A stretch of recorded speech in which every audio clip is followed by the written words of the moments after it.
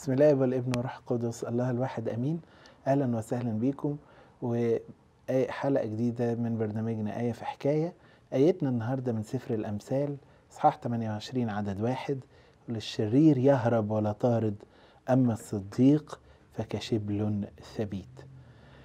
الشرير يهرب ولا طارد لأن الخطية بتخلي الإنسان في رعب وجبن وخوف. وده نلاحظه لما تشوفوا قايين مثلا. بعد ما قتل أخوه هابيل ووقف قدام ربنا وقال له يعني إن إزاي أنا خايف ومرعوب واللي هيقابلني هيموتني.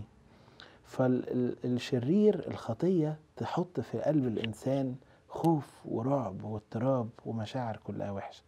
أما الصديقون بقى فكشبل ثبيت إشمعنى الشبل يعني؟ الشبل هو ابن الأسد. لأن الشبل ما بيخافش ابدا لأنه متأكد إن الأسد أبوه دايما جنبه وهيحميه. فإن كنت أنا كصديق أحيا في حياة القداسة هبقى عامل زي الشبل اللي بيحتمي في الله اللي هو الأسد أبوه. فما يخافش ابدا. وده تلاقوه كان واضح في حياة كل ابائنا القديسين والشهداء. قديس يطلع يقعد فوق في الجبل زي أنطونيوس وما يخافش لا من الحيوانات البرية ولا من الشيطان ولا من الحروب ولا من أي حاجة لأنه مثل شبل يعتمد على الأسد. أو أبائنا الشهداء لما نقرأ النهاردة سيرهم ونستغرب جدا إزاي احتملوا كل الألم والعذاب دوت لأنهم كانوا كشبل ثبيت بيعتمد على أبوه الأسد. فما كانتش الأمور دي بتزعجهم أو ترعبهم أو تخوفهم.